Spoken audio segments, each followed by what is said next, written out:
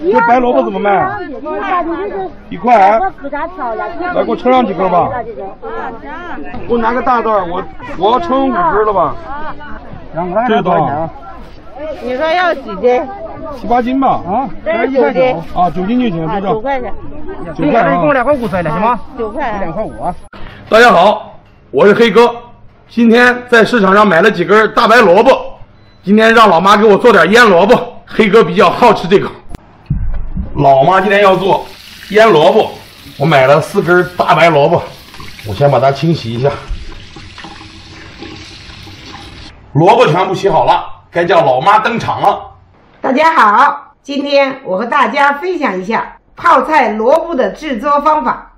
儿子今天买了四根大白萝卜，现在我把萝卜处理一下，先将萝卜的头尾去掉。我先将萝卜切成两厘米的厚片儿。妈，嗯，这萝卜不用削皮啊？不削皮，再改刀把它切成小方块儿，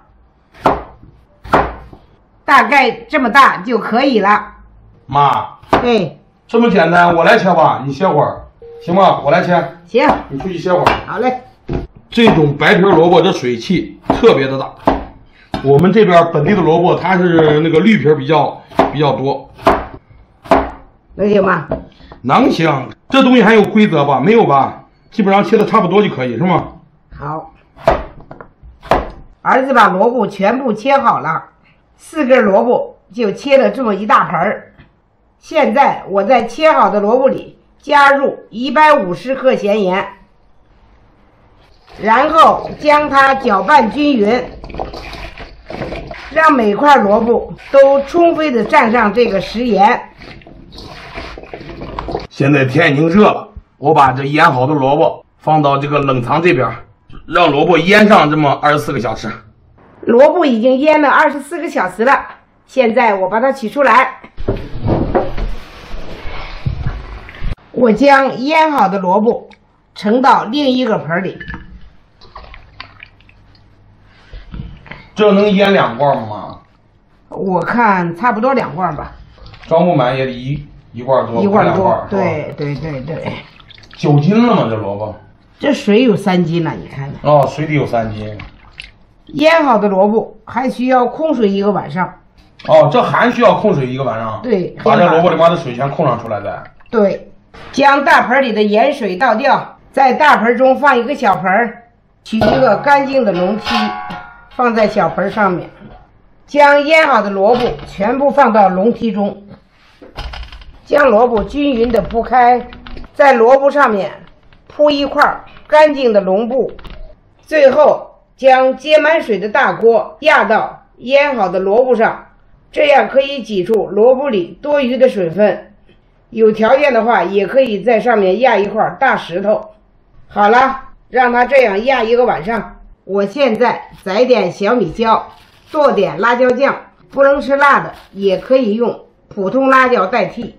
好了，小米椒宰完了，把宰好洗净的小米椒放到案板上切碎。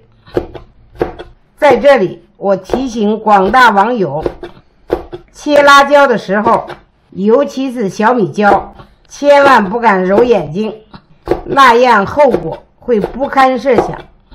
小米椒全部切好了，现在我再把它切碎点，小米椒就剁好了，把它盛到盆中备用。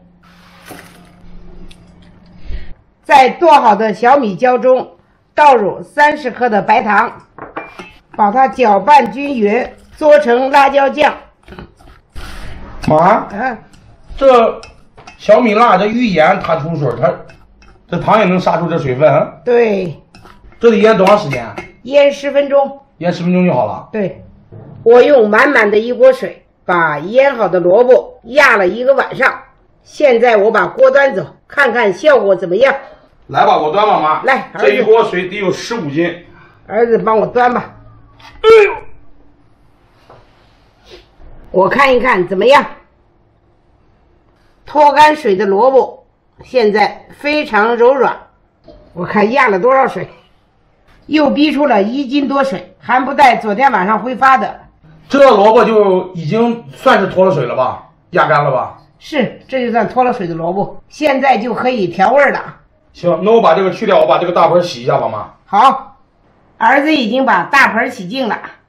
现在我将脱了水的萝卜倒入大盆中，盆中加入二十克细辣椒面，增色；二十克粗辣椒面，增香。最后倒入腌制好的辣椒酱。哎呦，这个小米椒这味儿，一股子辣味儿就冲上鼻子上来了，辣吧？辣，这吃的才过瘾，才下饭。现在戴上手套，下手把萝卜和辣椒搅拌均匀。这马上不能吃了吗？把它腌上三五天。现在就就想吃了，已经。哎呀，嗯，已经闻见香味了吗？好看吧？好看，又好看又好吃。妈妈牌萝卜块马上就制作完成了。好了，已经搅拌均匀了。这是我提前洗好的玻璃瓶子，玻璃瓶子里面不能有生水，如果有生水的话，萝卜干会变质。现在我把拌好的萝卜装入瓶中。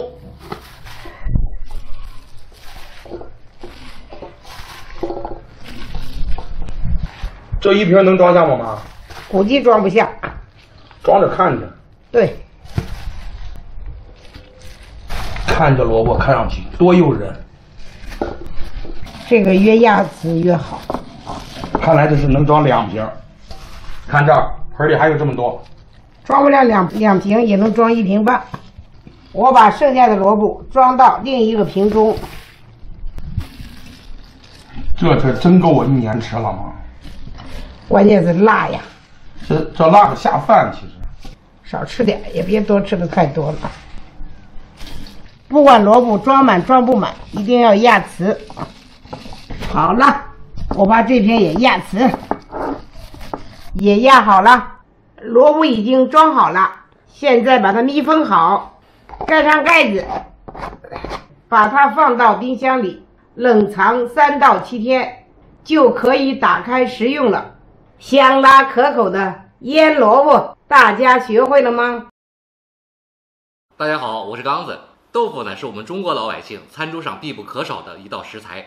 但是呢，豆腐的种类也比较多。一般来说呢，分为北豆腐、南豆腐、内酯豆腐。那么刚子是北方人，自然先说一说北豆腐。俗话说得好，卤水点豆腐，一物降一物。这个呢，说的就是北方的豆腐。北豆腐呢，它的水分含量是最低的。摸起来呢比较硬，也比较粗糙。它的蛋白质含量呢也是其中最高的，能达到百分之十二以上。卤水的主要成分呢是氯化钙和氯化镁，所以北豆腐的钙含量也是最高的。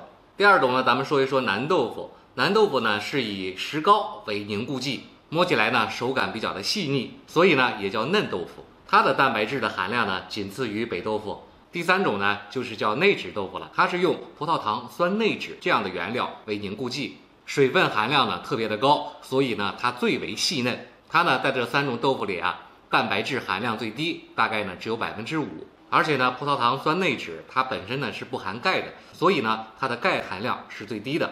一般来说呢，北豆腐适合做香煎豆腐或者我们本地经常吃的豆腐菜，而南豆腐呢最为有代表的就是麻婆豆腐。内酯豆腐呢比较适合做豆腐的汤羹类。